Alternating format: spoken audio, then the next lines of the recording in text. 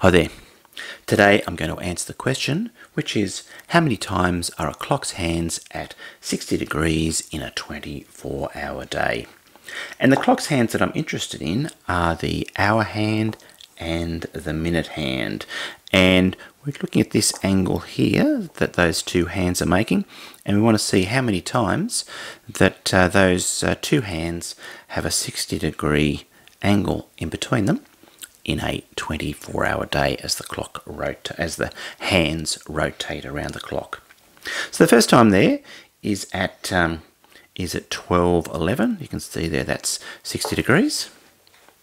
And then the next time is here at 12.54 so you can see there that the hands there are making a 60 degree angle at uh, 12.54 the third time is at uh, 1.16 yep.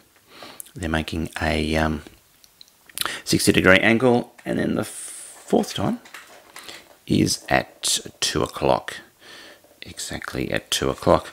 And 2 o'clock that makes an a uh, 60 degree angle. And 2 o'clock's good because it's um, you know that 2 o'clock then that the um, minute hand is exactly on the 12 and the hour hand is exactly on the 2 and so you know that that will be exactly 60 degrees at exactly 2 o'clock.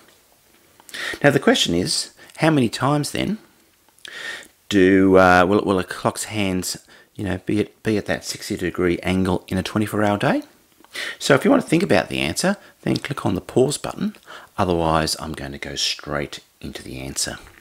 Now, the obvious answer is that um, the hands on a clock are, you know, they're at uh, 60 degrees sort of twice every hour. There's 24 hours in a day. So that means that they must be at 60 degrees uh, 48 times in a 24 hour day. But unfortunately, 48 times is incorrect. And the actual answer is 44 times. Yes, 44 times that the hands on a clock are at a 60 degree angle in a 24 hour day. And it's at 60 degrees because then the hands are lining up not twice every 60 minutes, but actually twice every 65 or 66 minutes. So if you think here, 12.11 was the first time, and then the second time was at 12.54. Yep. And then the third time was around here at 1.16. So it wasn't here at 1.11, which would have been 60 minutes on from 12.11. It's actually down here at 1.16, which is actually about, what's that, 65 minutes on from 12.11. And when you look at it there, um, in a 24 hour day, then you've got 22 lots of 65 minutes. So 22, and there's obviously a in between those uh, matching at 116, there was one at uh, 1254. So there's two times every.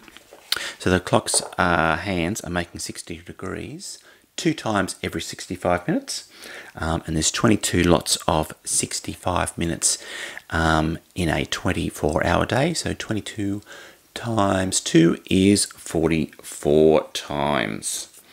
Now, what I'm going to do, okay, so what I'm going to do is to show you this simple grid of all the times in a 24 hour day that a clock's hands are at 60 degrees. So you can see here that uh, the first time I showed you 211, 254 and 116 and then uh, and then at 2 o'clock. Yep, and they're there all the times in the first 12 hours a day in the, in the morning up till uh, up till midday. And you can see here that uh, in the 1 the 1 o'clock range there's actually only one time that starts with 1 two lots of 12s, two lots of 2s, 3s, 4s, but only one lots of, of uh, times that start with 1. And here down at the nines, you've only got one lot of time that starts with the 9 and then you've got 10 o'clock as well exactly 10 which also gives you a 60 degree um, angle and then the morning times then they're all the 22 times in the morning and they're exactly the same times in the afternoon except rather than having am they have a PM, and that's all your. Uh, that's the total of all the times that a clock's hands are at 60 degrees to each other in a 24-hour day. There's 22 in the morning, and another 22 in the afternoon and the evening and the night to give you a total of 44 times in a 24-hour day. Okay, well I hope you've enjoyed this video. Thanks for watching, and goodbye for now.